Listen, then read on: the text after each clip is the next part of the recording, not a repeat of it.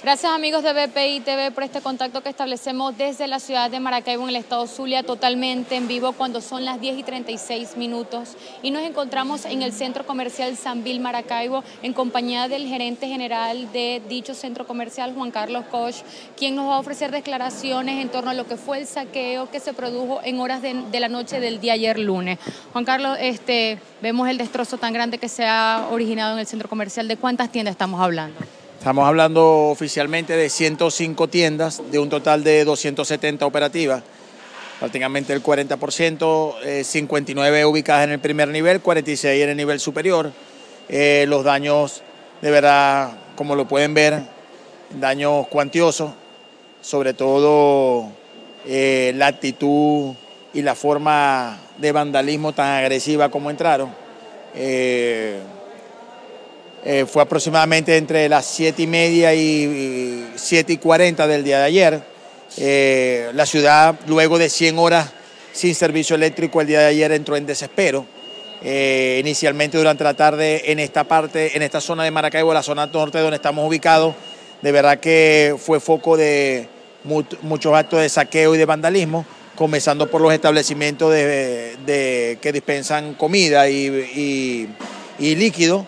Eh, sin embargo, bueno, pasada la noche esto se transformó de otra manera y ya la forma de actuar y la forma de atacar era otra. ¿Cuántas personas más o menos entraron aquí al centro comercial? Aproximadamente unas 300 personas. Unas 300 personas, una turba bastante grande.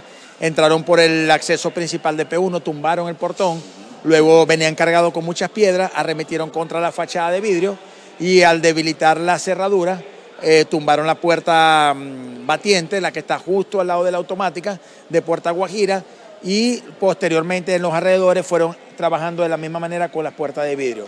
Desde el primer momento activamos el plan de emergencia, este, ya, habíamos, ya habíamos sido avisados eh, por los cuerpos de seguridad de lo que estaba pasando en la zona, sin embargo, bueno, sabíamos también que los focos eran múltiples en la ciudad y, y bueno, estaban ellos también en bastante en bastantes ocupaciones. Sin embargo, la, mm, el grupo, el FAES, fue el que llegó aproximadamente unos, unos 20 minutos posteriores, entre 20 y 30 minutos, posteriormente el comando motorizado que se encontraba en la zona sur de la Guardia Nacional y bueno, fueron los que hicieron la dispersión, pero bueno, ya el daño estaba hecho. No decía que es lamentable porque eh, el centro comercial estuvo apoyando a la comunidad durante estos tiempos sin, sin luz, sí. Eh, con el agua, con la De hecho, de hecho, desde el primer momento eh, que se dio la situación de emergencia, nosotros por supuesto no podíamos operar, teníamos únicamente la, la alimentación de los servicios generales y preferenciales con la planta eléctrica. Sin embargo, aún así con la planta de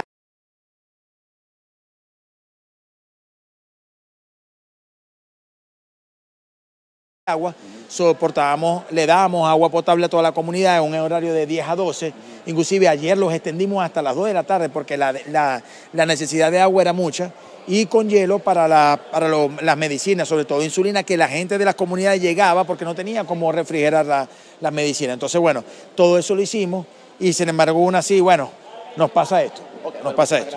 ¿Sabes si hay detenidos? Sí, aproximadamente hay unos 30 personas detenidas de primer momento, ayer en el proceso de actuación, sin embargo pasada como una hora y media, hicimos con, la, con el organismo del Estado de Seguridad del Estado, hicimos un arqueo en todas las tiendas y encontramos personas, aproximadamente unas 15 personas más escondidas en las mezaninas de las tiendas, esperando que todo se calmara, se calmara para salir. Igualmente se aprendieron Ahí activo detenido, todo el procedimiento lo llevó a cabo la Guardia Nacional Bolivariana, específicamente el de Sur, ¿ok? Y tanto los detenidos como los activos se encuentran en el Core 3. ¿Ya hay alguna una cifra en bolívares de las pérdidas? No te puedo decir, pero es millonaria. Esto es un golpe duro. O sea, si se puede decir, es, eh, yo creo, no he visto en Maracaibo un golpe tan duro a la economía como el que acaban de hacer con el centro comercial.